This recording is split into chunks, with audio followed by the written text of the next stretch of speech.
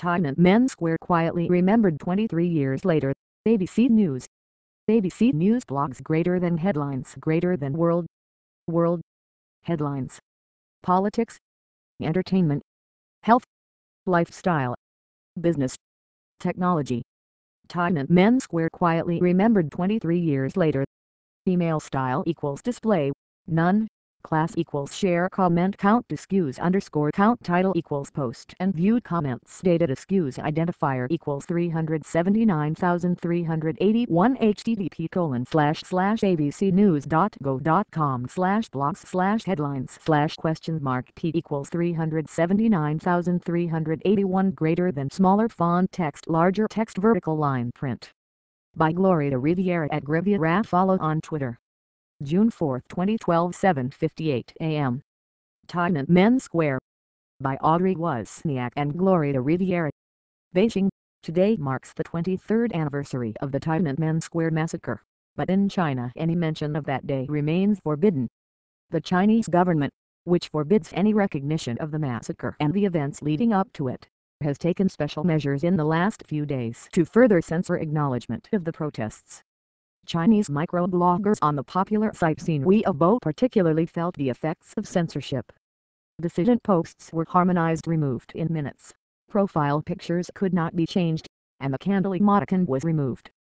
The list of blocked words was extensive, including words, names and numbers that related to the incident from Never Forget to Tank to ISM. On television, the BBC's channel was blacked out during their segment on Tiananmen. In the square on Sunday a small group of protesters were beaten and detained. Mao's mausoleum was closed, and large groups of uniformed and plainclothes police monitored the area. Today, it was quiet save for slightly heightened police presence. However, the government hasn't been able to control all responses to the anniversary. The U.S. Department of State issued a statement acknowledging the loss of life in the massacre, and encouraging the Chinese government's protection of human rights. The Tiananmen Mothers Group called for the end of communist rule, and microbloggers have encouraged sympathizers to wear all black and stroll in public places.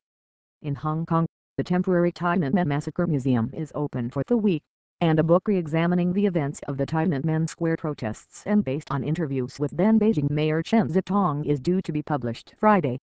The author, Yo W. Jianfu, told writers that Chen Xitong told him that Tiananmen was a tragedy that should have been averted but wasn't.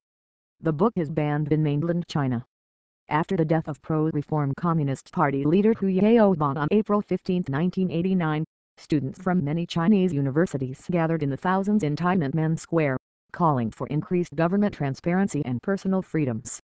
After government negotiations failed to clear the square of protesters, who had been occupying Tiananmen for nearly two months, military forces from the People's Liberation Army took drastic action on June 4, 1989, using tanks, tear gas, and gunfire.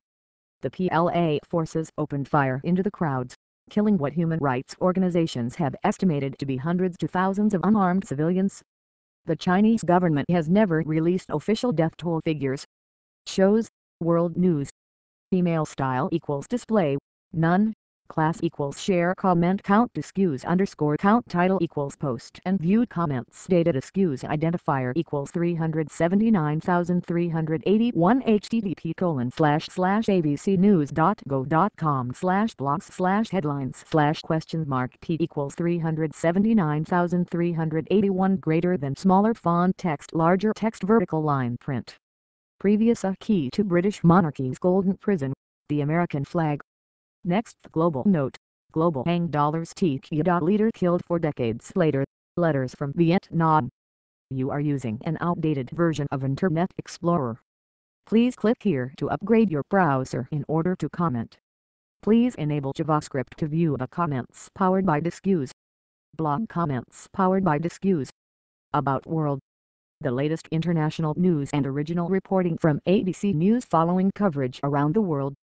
Categories Crimes against Christmas Investigative Middle East Nation Olympics. Picture this, ABC News. Press Release. Religion. Standing Up for Heroes. World. Top Posts Strauss-Kahn makes comeback, in Serbia. Colorado residents, rescuers battle epic floods and brace for more rain